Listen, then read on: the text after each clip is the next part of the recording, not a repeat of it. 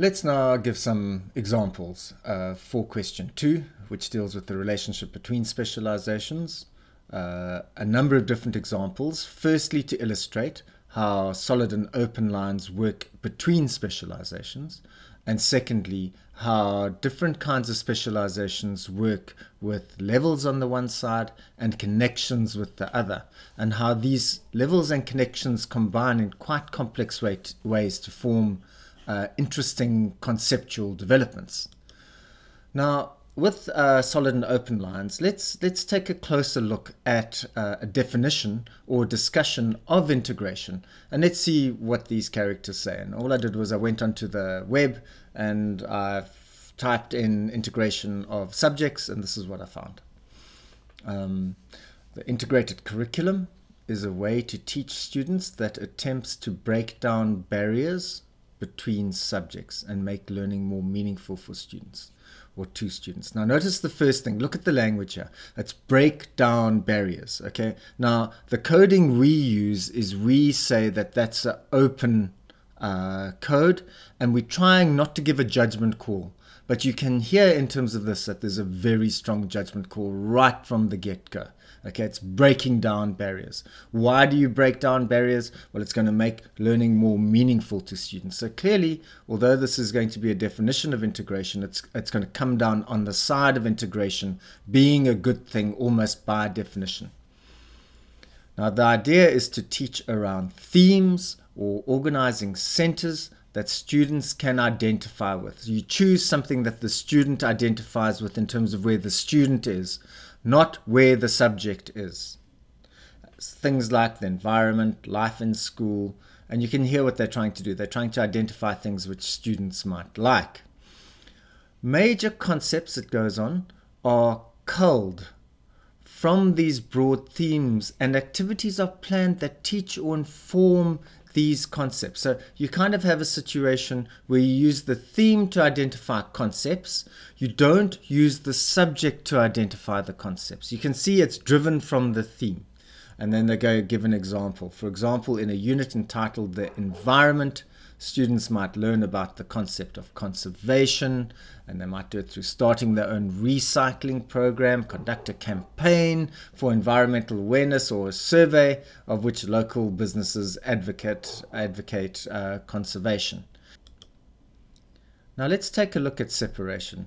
Now, the person I've used here is a guy by the name of Hirst, and he's a fantastic person to read in terms of trying to understand how separation of disciplines work. Now, there's a debate in education about the difference between um, subjects, disciplines, and specializations, and I'm not going to go into that. I think they're hold as a broad category, so let's let's just keep that there.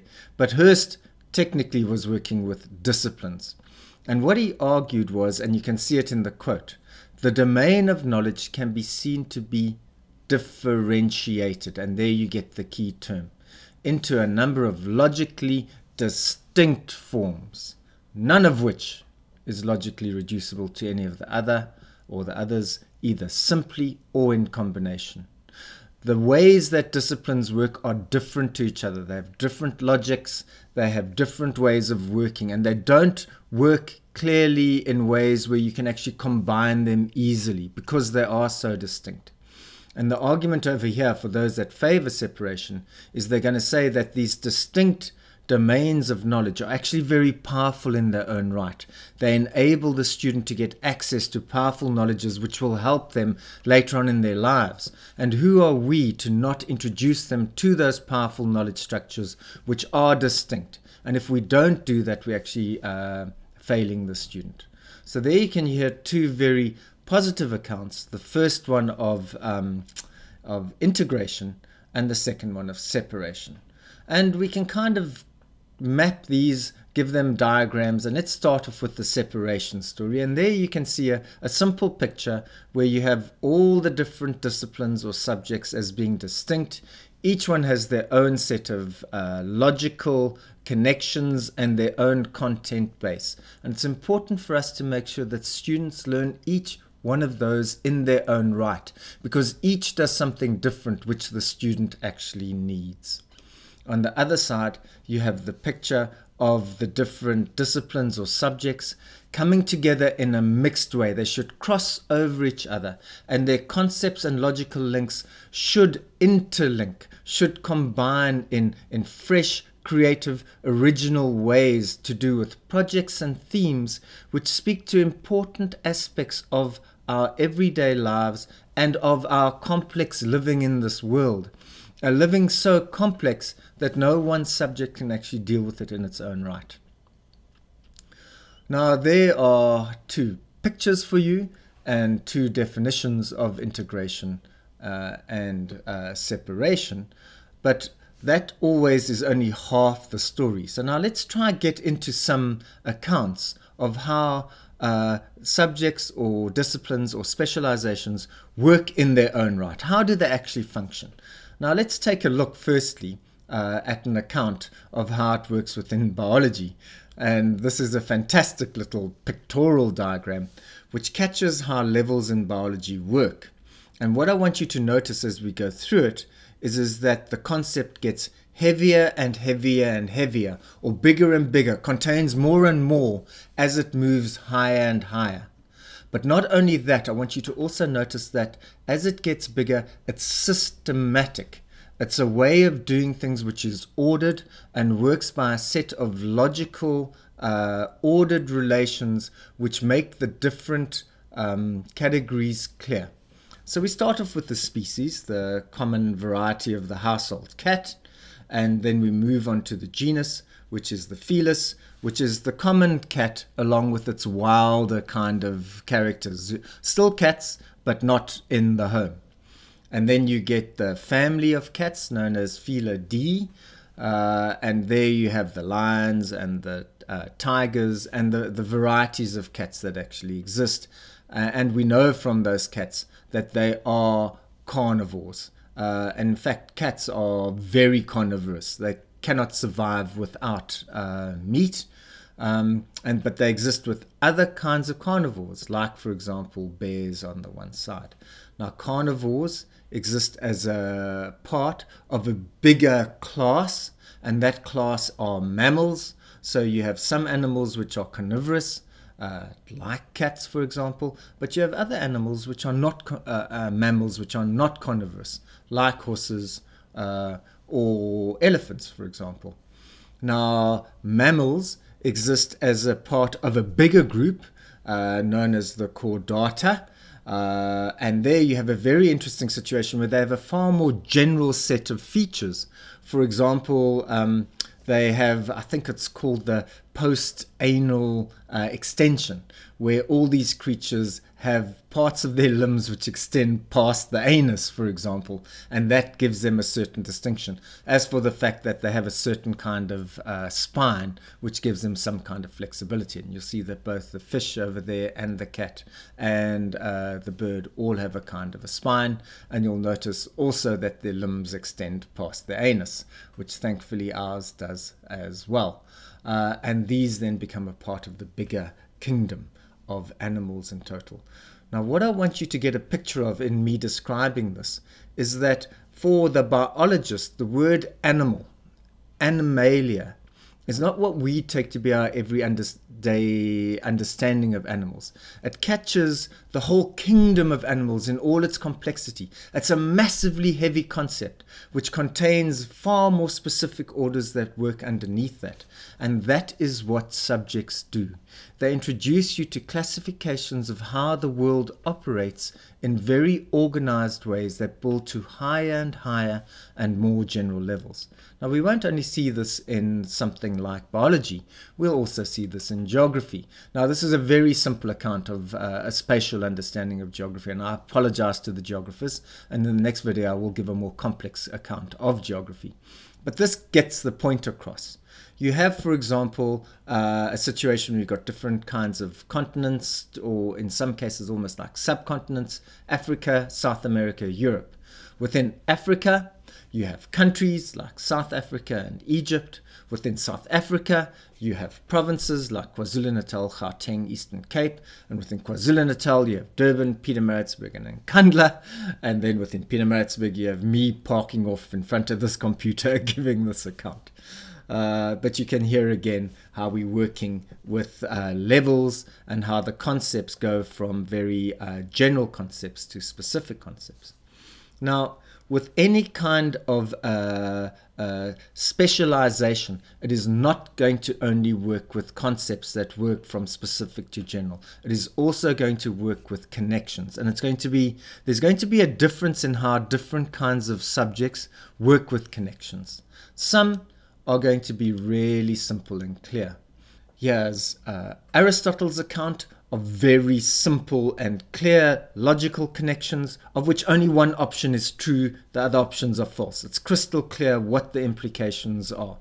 Uh, and you can have a situation where all cats are animals. Well, that's clear. No cats are plants.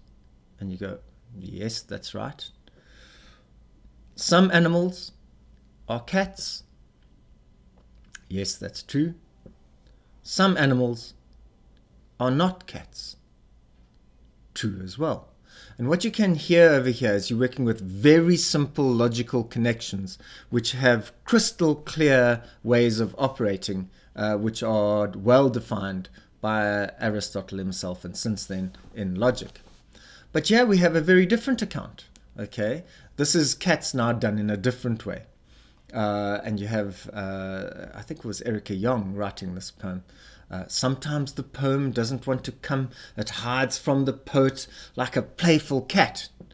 Now, notice you are not working with a crystal clear logical relation here. You're actually working with a, a, metaphorical or simile kind of relationship where you're comparing two things, both of which are complex in their own right. A playful cat on the one side and a poem on the other side.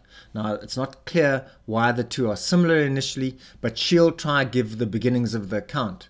Who, this cat, who has run under the house and lurks amongst slugs and roots and spiders' eyes, ledged so long out of the sun that it is dank with the breath of the troll king, and suddenly it gets darker and deeper, and the connections start to proliferate. So you have a complex and subtle set of connections rather than the simple and crystal clear connections which we saw in the first one.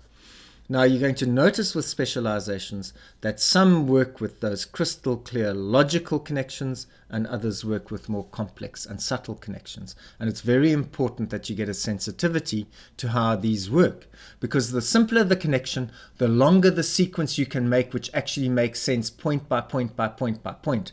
And these can build up to very complex uh, whole sequences when taken across their whole span, like a program written by uh, programmers, for example, which has very simple logical connections throughout, but in the end creates this wonderfully complex uh, world. On the other side, a poem, because its connections are very subtle, you have to actually track them quite carefully within a small little micro area and get a sensitivity to how they all work together. Now let's try and combine those together in terms of trying to understand then how these um, subjects or disciplines or specializations tend to combine concepts and connections together. And I want to use the solo taxonomy idea to try and get at this. And right at the bottom, you start off with a situation where you don't even know what it is. You kind of can't even say what it is. You actually ask what this thing is. You haven't got a concept. It's you just got an idea that there's this empty spot which needs some naming or some talking about. Number two, your second level move is you do have an idea about the concept. You can kind of give an example about it, or you can kind of give one account, but you don't know how the concept extends further than just that one idea.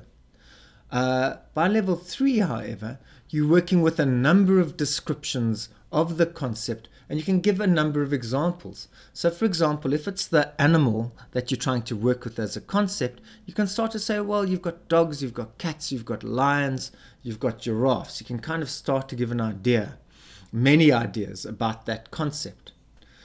But by level four, what you're starting to do is you're starting to look for clear links or connections between the different ideas that start to pull together why the concept is the way that the concept is.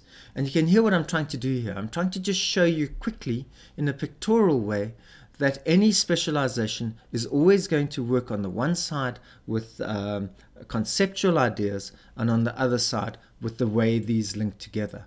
And it's only when you get those links together along with the concept itself, how the different parts of the concept hang together in an ordered uh, and logical or coherent way that you have a fully developed concept.